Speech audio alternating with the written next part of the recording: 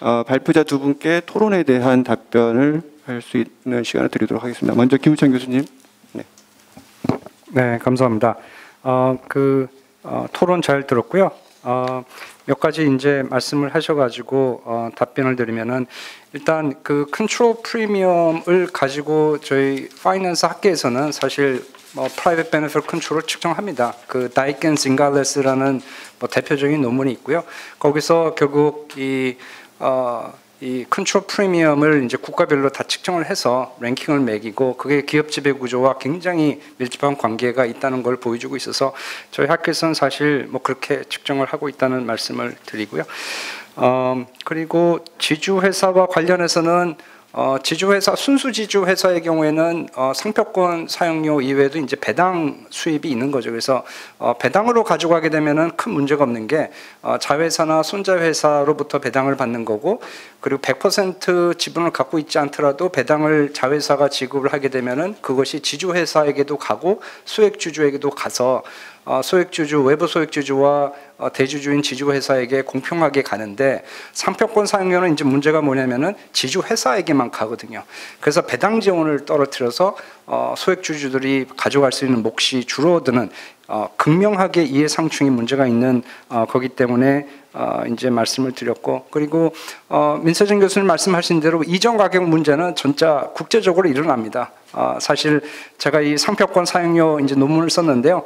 제 introduction에 바로 미국 사례들이 나옵니다. 어떻게 해외 지사를 통해 가지고 어, 세금을 덜 내기 위해서 어, 이 patent나 뭐 상표권이나 이런 거를 어, 다른 데로 옮겨서 결국 이제 세금을 절세하는.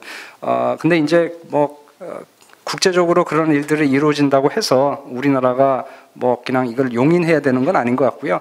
어, 가급적이면은 어, 그런 일들을 줄이도록 해야 되는 게 어, 맞다고 생각합니다. 그리고 사회이사 문제도 사실은 민서진 교수님 말씀하신 것처럼 사후적으로 어, 소송을 할 수가 있다 그러면은 사회이사들도 경각심을 갖고 어, 제대로 역할을 할 텐데 어, 사실 어, 사후적인 소송을 제기하는 게 굉장히 어렵습니다. 주유대표 소송도 어, 여러 가지 어, 뭐 지분 요건이나 입증의 문제나 이런 것들이 굉장히 어렵고요. 삼성물산 케이스의 경우에는 어, 사실 아시겠지만 합병이 됐습니다. 어, 제일모직이 합병을 하는 회사고 물산이 피합병 회사인데 결국 이름은 바꿨지만은 없어졌습니다. 물산이 없어졌기 때문에 어, 이런 회사의 경우에 주유대표 소송을 어, 하지 못한다라는 설들이 있고 할 수 있다라는 설이 있어가지고 지금 참여연대에서 제기한 거는 주유대표 소송이 아니고 그냥 단순한 손해배상 소송입니다. 이것도 어떻게 될지 모르고요.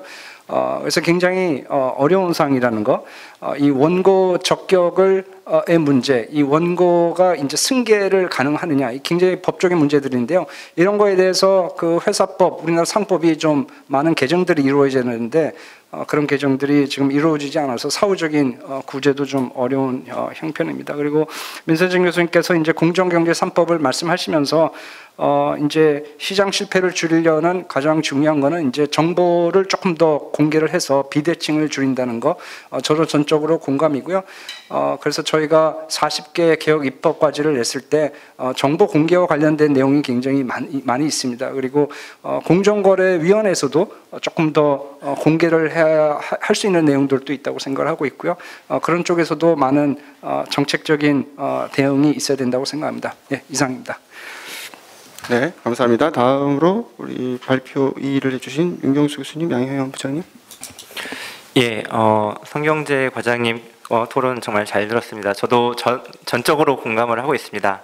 다만 이제 지금 현재 어, 규율 방안과 그리고 공정거래법 개정안으로 이제 나타난 것으로 충분할 것인가에 이제 문제가 있어서 앞으로 좀 적극적으로 고민할 필요가 있지 않나라는 생각을 했고요. 저도 이제 이게 위헌의 소지라든지 아무튼 어 좀 반발도 좀 클 거라고 생각을 하는데 다만 이게 이제 어 전혀 아무런 조치 말하자면 전혀 아무런 그런 방안을 어, 생각하지 않고 있으면 이 문제가 좀 더 이제 심각해질 수 있다라는 차원에서 지금부터 논의를 할 필요가 있다는 차원에서 이제 말씀을 드렸습니다. 이 정도로 답변 마치겠습니다. 예, 감사합니다. 네, 감사합니다. 아, 제가 마지막으로 정리해 보면 어, 발표자분들과 토론자분들의 의견이 크게 다르지 않은 것 같습니다. 어, 한국 지배구조의 개혁은 필요하다. 어, 한국 기업들의 지배구조 개혁 필요하고 내부 거래 여러 가지 문제점 있을 수 있고 개선해야 된다. 아, 라는 그러한 큰 목표에 있어서는 크게 다르지 않은 것 같습니다. 하지만 그 방법과 또 시기 어, 에 있어서 조금 우리가 좀 더 많은 연구를 하고 어, 좀더 신중하게 이런 것들이 제도화되는 그런 것이 있으면 좋겠다라는 그런 의견을 양쪽에서 어, 공유를 한 것 같습니다. 어, 뭐 아주 주어진 시간 안에 잘 맞춰진 것 같고요. 이런 이런 자리가 어, 자주 있었으면 좋겠습니다. 그래서 어, 학자들의 연구가 좀 더 많은 어, 공유가 되고 또 의견이 서로 다른 그런 분들이 여기에 와서 서로 토론을 통해서 어, 서로의 합의점을 좀 찾고 그것이 정책으로 연결되는 이런 자리가 많았으면 좋겠고요. 그런 면에서 이번에 KDI에서 이런 좋은 컨퍼런스를 마련해 주신 것에 대해서 다시 한번 감사를 드리고 오늘 어, 첫 번째 세션을 마치도록 하겠습니다. 예, 수고하셨습니다. 감사합니다.